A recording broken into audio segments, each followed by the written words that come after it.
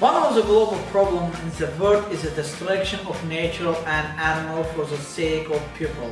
As is known, the national popular musical instrument of Azerbaijan, tar is made from three trees and the shell of cars hard. In many countries, this is uh, considered barbaric and this problem need to be solved. Our solution is the production of tar on a 3D printer. The weight will be much less and this will prevent deformation of the back and chest of young performers. Inside we will install a Bluetooth microphone which will allow the performers to move comfortably on the stage.